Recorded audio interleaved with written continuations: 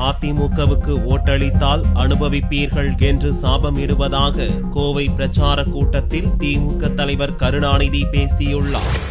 லோக்சபா தேர்தல் களை கட்டி வரும் நிலையில் சென்னையில் ஏற்கனவே பிரச்சாரத்தை துவக்கிவிட்ட திமுக தலைவர் கருணாநிதி கோவையில் சனிக்கிழமை அன்று இரவு தேர்தல் பிரச்சார பொதுக்கூட்டத்தில் பேசினார். கோவை நீலகிரி பொள்ளாச்சி லோக்சபா தொகுதி திமுக வேட்பாளர்களை ஆதரித்து பேசிய கருணாநிதி இது தனக்கு கடைசி தேர்தலாக கூட இருக்கலாம் என்று உருக்கம் தெரிவித்தார்.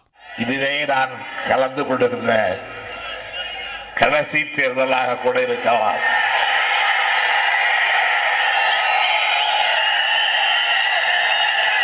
நான் சொல்லாமல் இருக்க வேண்டுமேயானால் நீங்கள் நாங்கள் தமிழர்களாக வாழ்வோம். யாருக்கும் அடிமையாக மாட்டோம் என்ற உறுதியை எனக்கு அளித்தாக வேண்டும்.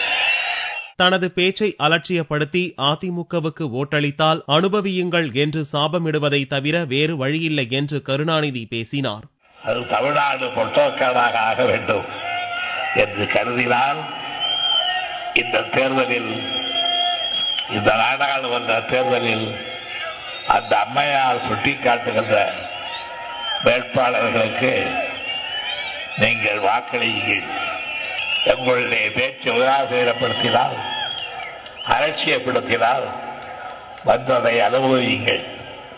என்று சாபமிடுவதை தவிர வேறு வழியில்லை.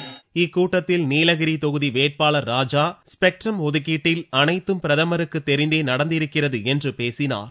கூட்டுக்குழுவுடைய தலைவர் காங்கிரஸ் கட்சிக்காரர் உறுப்பினர்கள் யார்? யஸ்வந்த் சின்ஹா பிஜேபி ஜஸ்வந்த் சிங் பிஜேபி இரண்டு பேரும் மத்தியிலே நிதியமைச்சர்களாக இருந்தவர்கள் யச்சூரி அதனுடைய உறுப்பினர் சிபிஎம் சிபிஎம் ஏன் இன்னும் நான் சொல்லுகிறேன் தம்பிதரையும் மைதுரையனும் உன்னுடைய கட்சியை சார்ந்தவர்கள் அந்த நாடாளுமன்ற கூட்டுக்குழுவில் இருக்கிறார்கள்.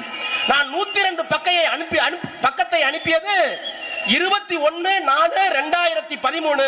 இன்றைக்கு ஏப்ரல் மாதம் மீண்டும் ஓராண்டு கழித்து நிற்கிறேன்.